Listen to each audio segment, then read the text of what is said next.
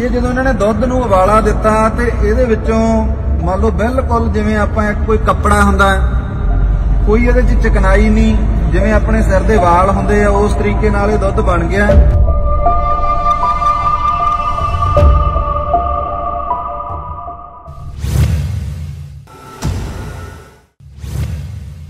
Social media ਤੇ ਇੱਕ video ਖੂਬ ਵਾਇਰਲ ਹੋ ਰਹੀ ਹੈ। ਇਸ ਵੀਡੀਓ ਵਿੱਚ ਦਿਖਾਇਆ ਗਿਆ ਹੈ ਕਿ ਕਿਵੇਂ ਨਕਲੀ ਦੁੱਧ ਕਿਸਾਨੀ ਸੰਘਰਸ਼ ਵਿੱਚ ਪਹੁੰਚ ਰਿਹਾ ਹੈ। ਕਿਸਾਨ ਸੰਘਰਸ਼ ਦੇ ਵਿੱਚ ਟਿੱਕਰੀ ਬਾਰਡਰ ਤੇ ਆਏ ਹੋਏ ਆ।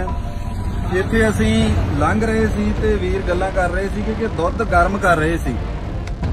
ਜਦੋਂ ਇਹਨਾਂ ਨੇ ਦੁੱਧ ਗਰਮ ਕੀਤਾ ਤਾਂ ਤੁਸੀਂ ਦੇਖੋ ਵੀ ਜਿਹੜਾ ਆਪਣਾ ਦੁੱਧ ਹੁੰਦਾ ਹੈ, ਉਹ ਜਾਂ ਪਾਟ ਕੇ ਪਨੀਰ ਬਣ ਜਾਂਦਾ ਹੈ, ਜਾਂ ਦੁੱਧ ਜਿਹੜਾ ਸਹੀ ਹੋਵੇ ਦੁੱਧ ਹੀ ਰਹਿੰਦਾ ਹੈ।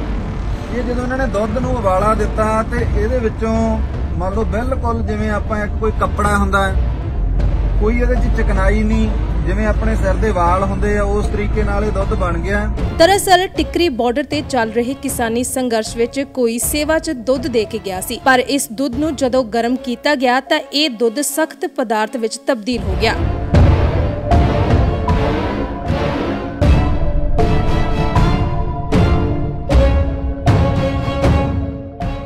ਦੁੱਧ ਦੀ ਸੇਵਾ ਨਿਭਾ ਰਹੇ ਲੋਕਾਂ ਨੂੰ ਵੀਡੀਓ ਬਣਾਉਣ ਵਾਲੇ ਵਿਅਕਤੀ ਨੇ ਅਪੀਲ ਕੀਤੀ ਕਿ ਉਹ ਸਿਰਫ ਉਸ ਵਿਅਕਤੀ ਤੋਂ ਦੁੱਧ ਲੈ ਕੇ ਸੰਘਰਸ਼ ਵਿੱਚ ਭੇਜਣ, ਜਿਸ ਉੱਤੇ ਉਹਨਾਂ ਨੂੰ ਪੂਰਨ ਵਿਸ਼ਵਾਸ ਹੈ।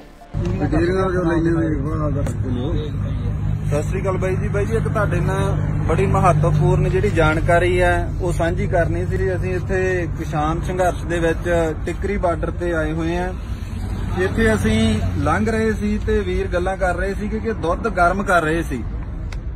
ਜਦੋਂ ਇਹਨਾਂ ਨੇ ਦੁੱਧ ਗਰਮ ਕੀਤਾ ਤਾਂ ਤੁਸੀਂ ਦੇਖੋ ਵੀ ਜਿਹੜਾ ਆਪਣਾ ਦੁੱਧ ਹੁੰਦਾ ਹੈ ਉਹ ਜਾਂ ਪਾਟ ਕੇ ਪਨੀਰ ਬਣ ਜਾਂਦਾ ਹੈ ਜਾਂ ਦੁੱਧ ਜਿਹੜਾ ਸਹੀ ਹੋਵੇ ਦੁੱਧ ਹੀ ਰਹਿੰਦਾ ਇਹ ਜਦੋਂ ਇਹਨਾਂ ਨੇ ਦੁੱਧ ਨੂੰ ਉਬਾਲਾ ਦਿੱਤਾ ਤੇ ਇਹਦੇ ਵਿੱਚੋਂ ਮੰਨ ਲਓ ਬਿਲਕੁਲ ਜਿਵੇਂ ਆਪਾਂ ਇੱਕ ਕੋਈ ਕੱਪੜਾ ਹੁੰਦਾ ਹੈ, ਕੋਈ ਇਹਦੇ 'ਚ ਚਕਨਾਈ ਨਹੀਂ ਜਿਵੇਂ ਆਪਣੇ ਸਿਰ ਦੇ ਵਾਲ ਹੁੰਦੇ ਆ ਉਸ ਤਰੀਕੇ ਨਾਲ ਇਹ ਦੁੱਧ ਬਣ ਗਿਆ। ਸੋ ਮੈਂ ਇਹ ਜਿਹੜੀ ਮੇਨ ਬੇਨਤੀ ਸੀਗੀ ਉਹ ਇਹ ਕਰਨੀ ਸੀ ਕਿ ਆਪਣੇ ਪੰਜਾਬ ਦੇ ਵਿੱਚੋਂ ਜਾਂ ਹਰਿਆਣੇ ਦੇ ਵਿੱਚੋਂ ਮੋਸਟਲੀ ਲੋਕ ਪੈਸਾ ਦਾਨ ਕਰ ਰਹੇ ਆ ਕਿ ਉਹਦਾ ਕੋਈ ਪਦਾਰਥ ਤੁਸੀਂ ਲੈ ਕੇ ਸੰਘਰਸ਼ ਦੇ ਵਿੱਚ ਦੇ ਦਿਓ।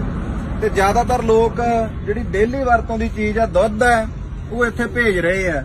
ਸੋ ਮੈਂ ਬੇਨਤੀ ਕਰਦਾ ਕਿ ਭਰਾਵੋ, ਉਹਨਾਂ ਬੰਦਿਆਂ ਤੋਂ ਜਿਹੜਾ ਦੁੱਧ ਲੈ ਕੇ ਸੰਘਰਸ਼ ਦੇ ਵਿੱਚ ਭੇਜੋ ਕਿ ਜਿਹੜੇ ਤੁਹਾਨੂੰ ਸਹੀ ਦੁੱਧ ਦੇ ਸਕਣ, ਤੁਹਾਨੂੰ ਪਤਾ ਹੋਵੇ ਕਿ ਜੇ ਤੁਸੀਂ ਦੁੱਧ ਦੇ ਪੈਸੇ ਦਿੱਤੇ ਆ, ਤੁਹਾਨੂੰ ਦੁੱਧ ਹੀ ਮਿਲ ਰਿਹਾ।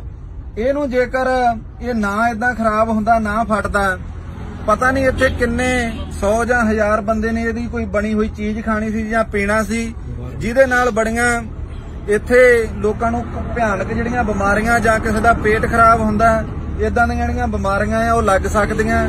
ਸੋ ਬੇਨਤੀ ਆ ਕਿ ਜਿੱਥੋਂ ਵੀ ਤੁਸੀਂ ਕੋਈ ਸੇਵਾ ਭੇਜ ਰਹੇ ਹੋ, ਸੇਵਾ ਕਰ ਰਹੇ ਹੋ, ਇਹ ਜਰੂਰ ਦੇਖੋ ਕਿ ਜਿਹੜੀ ਚੀਜ਼ ਵਾਸਤੇ ਤੁਸੀਂ ਸੇਵਾ ਭੇਜ ਰਹੇ ਹੋ, ਉਹ ਸਹੀ ਥਾਂ ਤੇ ਪੈਸਾ ਲੱਗ ਰਿਹਾ ਤੇ ਸਹੀ ਚੀਜ਼ ਜਿਹੜੀ ਕਿਸਾਨਾਂ ਵਾਸਤੇ, ਇੱਥੇ ਸੰਘਰਸ਼ ਦੇ ਵਿੱਚ ਬੈਠੇ ਉਹਨਾਂ ਵਾਸਤੇ ਪਹੁੰਚ ਰਹੀ ਹੈ। ਸੋ ਇਸ ਚੀਜ਼ ਤੋਂ ਜਰੂਰ ਅਵੇਅਰ ਹੋਣਾ ਤੇ ਮੈਂ ਉਹਨਾਂ ਲੋਕਾਂ ਨੂੰ ਵੀ ਅਪੀਲ ਕਰਦਾ, ਇੱਕ ਬੇਨਤੀ ਕਰਦਾ ਕਿ ਤੁਸੀਂ ਇਹ 2 ਨੰਬਰ ਦਾ ਧੰਦਾ ਜਾਂ ਜਿਹੜੀ ਤੁਹਾਡੀ ਕਮਾਈ ਹੈ, ਉਹ ਹੋਰ ਥਾਵਾਂ ਤੇ ਕਰੀ ਜਾਂਦੇ ਹੋ, ਸਰ ਜਾਂਦਾ।